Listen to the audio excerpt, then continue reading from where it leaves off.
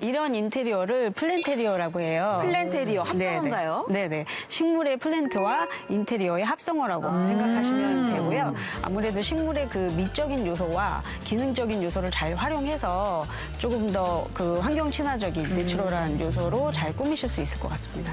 저는 아이들에게 정말 좋을 것 같은 게 이선영 아나운서도 따님과 함께 꽃꽂이 하시잖아요. 아이의 행복에 정말 겨운 표정을 봤었거든요. 여기는 뭐 아이의 정서 발달에 정말 좋을 것 같아요. 네, 통계청에 따르면 이 플랜테리어를 하는 이유가 있는데요.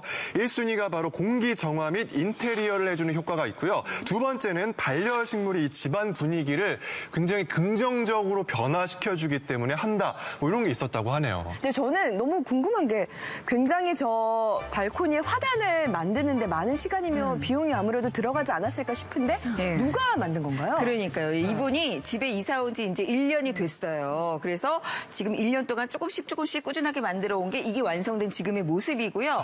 아까 이렇게 단계 단계로 돌담처럼 쌓은 거 보셨죠? 이게 아이 그 어린 아이들과 함께 장난감 놀이하듯 시멘트 바르고 해서 하나하나 직접 만든 거라고 해요. 그리고 나는 평범한 네모난 화단이 싫어. 이래서 그 태극기 모양의 태극 가운데 문양 있죠. 그 곡선처럼 둥그렇게 이렇게 일부러 만들었다고 합니다. 아이들이 미적 감각이 있어요. 그죠? 저는 한 가지 이제 걱정되는 게 물을 이제 부으실 거잖아요. 이게 배수가 따로 잘 되나요?